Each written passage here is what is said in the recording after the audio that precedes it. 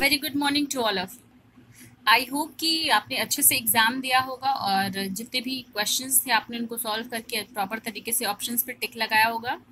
And I hope कि आप सबको अच्छे अच्छे मार्क्स मिले।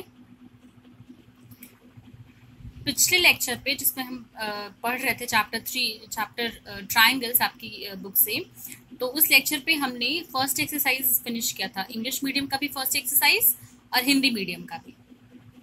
तो अभी कुछ थियोरम्स हैं जो हमको पढ़ने हैं और फिर उन थियोरम्स को समझने के बाद हम अगली एक्सरसाइज को सॉल्व करेंगे। तो ये थियोरम्स जो हैं वो इनइक्वालिटी के बेसिस पे हैं।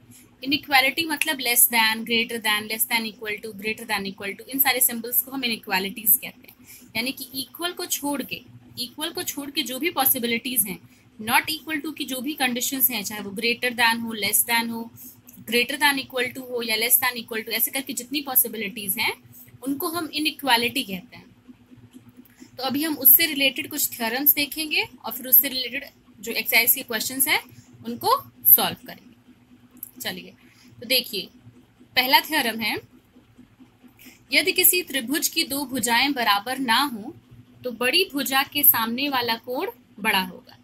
यानी कि if two sides of a triangle are unequal then prove that angle opposite to longer side is greater than the angle opposite to smaller side तो इसका एक सिंपल तरीके से इसका हम प्रूफ देखेंगे कि कैसे इसको प्रूव करना है। मान लीजिए आपको एक ट्रायंगल दिया ट्रायंगल ए बी सी जिसमें ए सी साइड बड़ी है ए बी से। और हमको प्रूव करना है कि ए सी के सामने जो एंगल है, यानी कि एंगल ए बी सी ये बड़ा है कंपेयर टू ए बी के सामने जो एंगल है ए सी बी से। ये चीज़ हमें प्रूफ तो प्रूफ करने के लिए हमें एक छोटा सा कंस्ट्रक्शन करना पड़ेगा, एक रचना करनी पड़ेगी। हम बी से ए सी पर एक रेखा खींचेंगे इस तरीके से, जो लेंथ ए बी है और ए डी ये दोनों आपस में क्या होंगे? बराबर होंगे। तो अगर ये दोनों आपस में बराबर होती हैं तो ये ट्रायंगल कैसा है? आइसोसिलीज ट्रायंगल है। यानी कि इसकी वजह से एंगल वन और एंगल टू आपस में क्या हो जाएँगे? इक्वल हो जाएँगे। लेकिन एंगल टू जो है, वो इस ट्रायंगल का क्या है? बहिष्कोण, यानी कि एक्सटीरियर एंगल है। तो ऑब्वियसली हमें पता है कि इसको, ध्यान से समझिएगा, कि इसको और इसको ऐड करेंगे अगर तो वो टू के बराबर आएगा। तो सिर्फ़ अगर एक एंगल की बात करें तो टू उससे बड़ा होगा। एंगल टू उससे बड़ा होगा। यानी कि angle two is greater than angle A C B A C B ये एंगल टू बड़ा है इससे। और अगली चीज़ क्या है? ये पहला पॉइंट हमें मिल गया। अभी अगली चीज़ हमारे पास है कि एंगल वन जो है, वो एंगल ए बी सी से क्या होगा? छोटा होगा। Angle one is less than angle A B C अभी यहाँ से देखिए कि ये एंगल वन और टू आपस में बराबर है और टू जो है वो इससे छोटा है। तो वन भी क्या सॉरी टू जो है वो इससे बड़ा है। तो वन भी क्या होगा? इससे बड़ा ही होगा और एंगल ए बी सी जो है वो सबसे बड़ा है मतलब वन से भी बड़ा है। तो यानी कि हमें फाइनली क्या मिलेगा कि ये पूरा एंगल जो है वो इससे बड़ा है। यानी कि एंगल ए बी सी बड़ा हो गया है एंगल ए सी बी से। कैसे? कि वन और टू आपस में बराबर है, लेकिन टू जो है वो इस एंगल से बड़ा है। इसका मतलब वन भी इस एंगल से बड़ा होगा। अब, ये जो पूरा एंगल है वो वन से भी बड़ा है।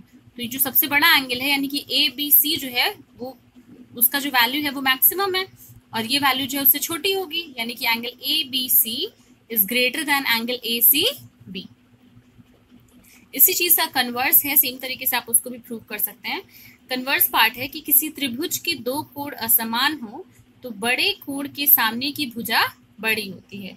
यानी कि in a triangle the length of side opposite to greater angle is longer than the length of side opposite to the smaller angle अगर किसी ट्रायंगल में, मान लीजिए ये एंगल बड़ा है और ये एंगल छोटा है तो अगर ये बड़ा है तो इसके सामने वाला साइड बड़ा होगा और ये छोटा एंगल है तो इसके सामने वाला साइड क्या होगा? छोटा होगा। ये पहला जो थ्योरम हमने पढ़ा, उसी का कन्वर्स पार्ट है। अगला थ्योरम है theorem three that is in any triangle sum of length of any two sides is more than the length of third side ये हमें पता है कि किसी भी त्रिभुज में दो जो भुजाएँ हैं, उनका योग जो है, वो तीसरी भुजा से हमेशा बड़ा होगा। मान लीजिए आपको एक ट्रायंगल दिया गया है ट्रायंगल ए बी सी तो आपको कोई भी दो साइड ले लीजिए और आपको प्रूफ करना रहेगा कि कोई भी दो साइड जोड़ने पे उससे जो आंसर मिलेगा हमें, वो तीसरी साइड से क्या होगा? बड़ा होगा। मान लीजिए हम प्रोड्यूस करते हैं बी ए को डी तक। ये है बी ए इसको डी तक प्रोड्यूस करते हैं इस तरीके से कि बी ए और ए सी आपस में इक्वल हैं। आपकी बुक में कुछ मिसप्रिंटिंग्स हैं तो हम जब उनको सॉल्व करेंगे या जब भी उस टॉपिक पे पहुँचेंगे तो हम उसको डिस्कस करेंगे। तो यहाँ हमने कंस्ट्रक्शन किया है कि बी ए जो है, उसको डी तक बढ़ाया गया है। ये है बी ए इसको डी तक बढ़ाया गया है इस तरीके से कि ये लेंथ और ये लेंथ दोनों आपस में इक्वल है। यानी कि इसकी वजह से दो एंगल्स मिलेंगे, हमें एंगल वन और एंगल टू और वो दोनों आपस में क्या होंगे? इक्वल होंगे।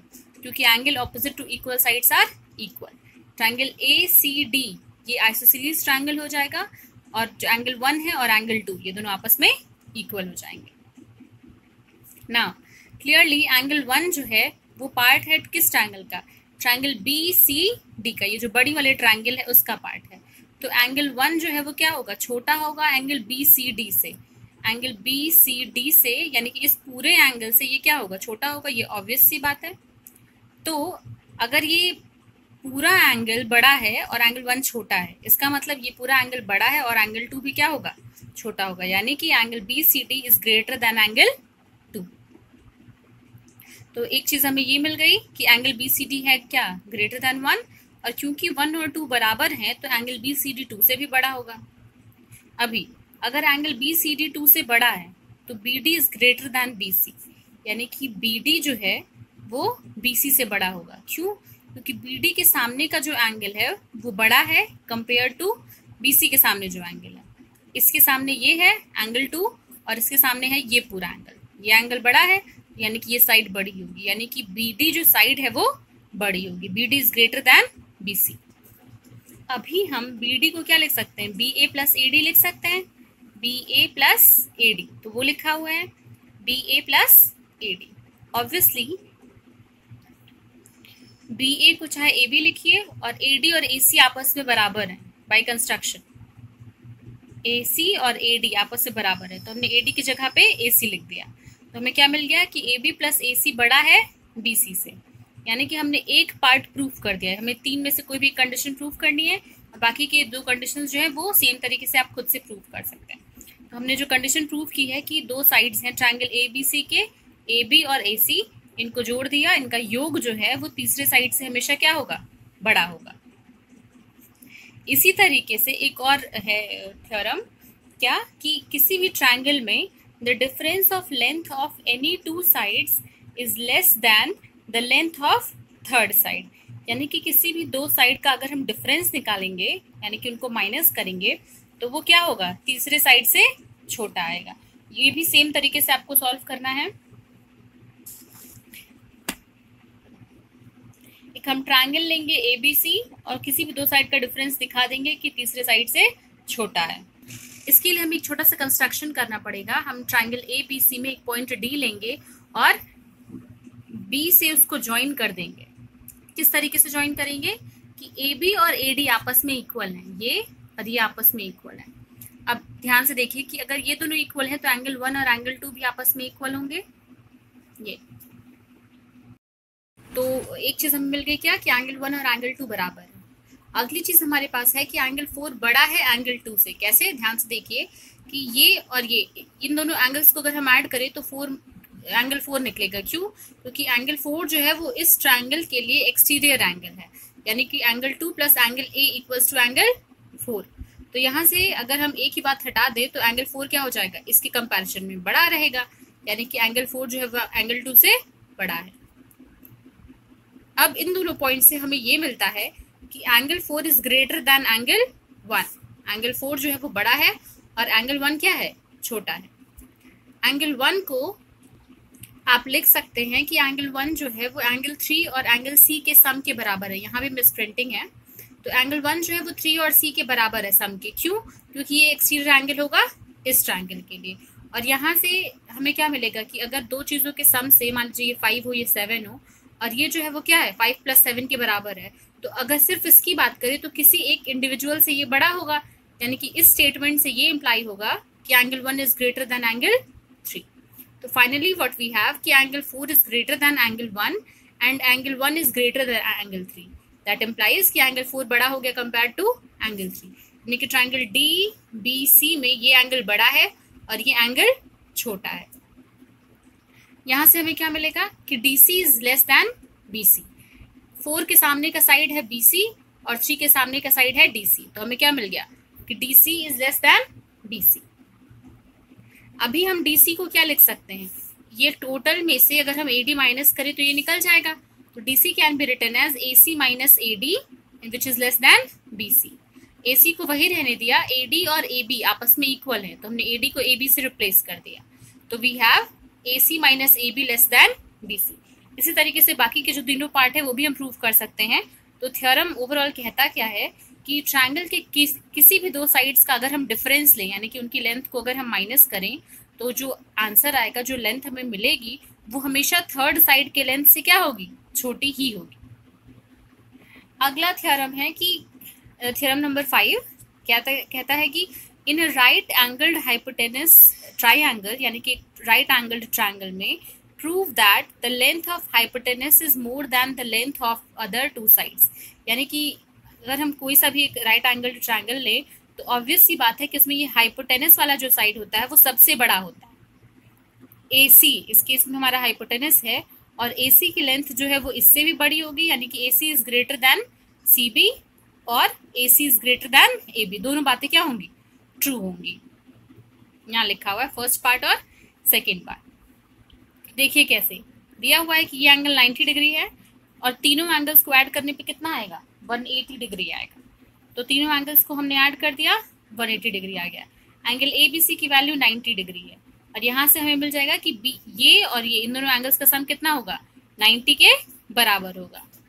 यहाँ से क्या मिला हमें कि एंगल बी सी ए और एंगल सी ए बी ये ग्रेटर देन है 90 डिग्री के। ऑब्वियसली ये दोनों एंगल एक्यूट एंगल है, यानी कि हमारे पास दो कंडीशन है।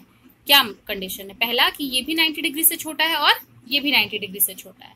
यहाँ पे लिखा हुआ है, यानी कि angle A is less than angle B और angle C is also less than angle B which implies कि अगर एंगल ए जो है वो बी से छोटा है, यानी कि ये एंगल छोटा है तो इसके सामने वाली साइड भी छोटी होगी। यानी कि ये जो बात है वो हमें देगा कि A C is greater than A B और A C is greater than B C that is A C जो है वो बाकी दोनों साइड के कंपेरिजन में क्या है? सबसे बड़ा साइड है।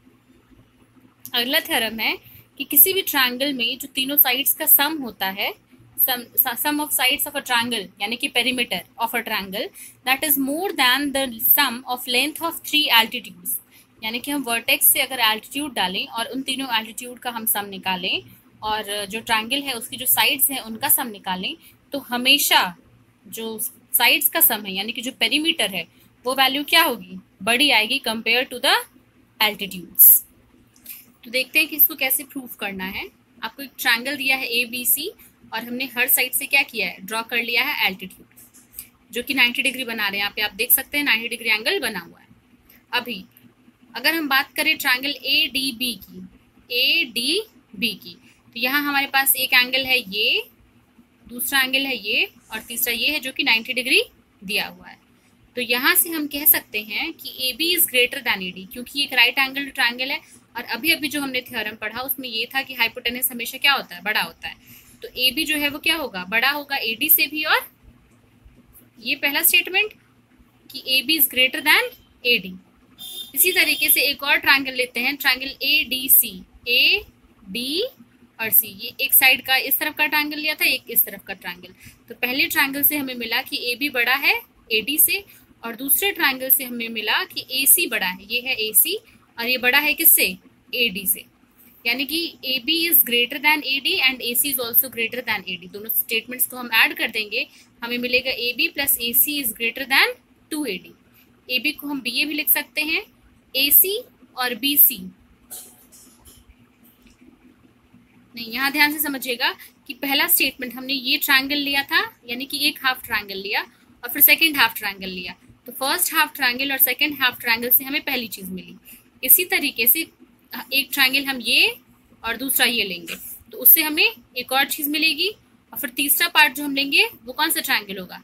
एक ये और दूसरा ये। और वहाँ से हमें ये थर्ड पार्ट मिलेगा। यानी कि तीन अलग अलग पेयर ऑफ़ ट्रायंगल्स हमने लिया और हमें ये तीन चीज़ें मिल गई और हम इन तीनों को अब ऐड कर देंगे। इस साइड में हर साइड टू टाइम्स है तो टू कॉमन हो गया। और इस साइड में हर साइड क्या है? टू टाइम्स है तो वो टू कॉमन हो गया। टू से टू कैंसिल तो तीनों साइड का सम जो है वो बड़ा हो गया। तीनों जो एल्टीट्यूड uh, है उसके सम से। इसको आप इस थ्योरम को फिर से समझिएगा। अगर नहीं समझ में आता है तो हम इसको वापस से डिस्कस करेंगे। फिर इसी तरीके से अगला स्टेटमेंट है सेवन थ्योरम सेवन है कि दो अगर हम ट्राइंगल के दो साइड्स की बात करते हैं आपको शो करना है कि any two sides of a triangle are together greater than twice the median drawn to the third side यानी कि अगर हम मीडियन ड्रॉ करें, मान लीजिए एक ट्राइंगल दिया है ए बी सी और इसका एक मीडियन ड्रॉ करते हैं ए डी जो कि ए सी को दो बार्ट दो हिस्सों में डिवाइड कर रहा है। तो हम शो करेंगे कि जो मीडियन है, उसका टू टाइम्स क्या होगा? ए बी प्लस ए सी यानी कि दो साइड्स का सम जो है वो ग्रेटर होगा टू ए डी के। क्या करना है? हमने क्या किया? ए डी को प्रोड्यूस किया इस तरीके से कि ये कहाँ तक आ गया? ई e पॉइंट तक आ गया। ए डी और डी ई ये दोनों आपस में इक्वल हैं। फिर हमने ई e से सी को ज्वाइन कर दिया। अब हमारे पास क्या क्या चीज़ है? ए डी और डी ई बराबर है बाई कंस्ट्रक्शन फिर बी डी और डी सी बराबर है। कैसे? अभी हमने बताया कि ए डी जो है वो मीडियन है। तो ये इसको दो बराबर पार्ट्स में बाइसेक्ट करें। और अगली चीज़ क्या है? Angle A D B A D B is equal to angle E D C ये वाला है। ये एंगल और ये एंगल ये दोनों आपस में क्या होंगे? इक्वल होंगे, क्योंकि ये क्या है? वर्टिकली ऑपोजिट एंगल है। तो ये दोनों ट्राइंगल आपस में कॉन्ग्रुएंट हो जाएँगे साइड एंगल साइड एक्सियम से। ये साइड फिर ये एंगल और ये साइड और इसमें ये साइड एंगल साइड तो ये दोनों क्या हो गए? आपस में कॉन्ग्रुएंट हो गए।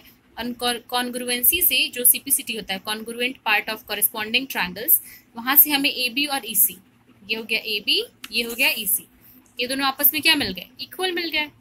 ये पॉइंट दस in triangle A E C A E C triangle A ई सी में हमारे पास क्या है कि दो साइड्स का सम जो है वो तीसरी साइड से बड़ा होगा.